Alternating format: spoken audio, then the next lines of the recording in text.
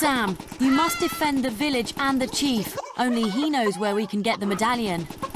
Let's kick some ass!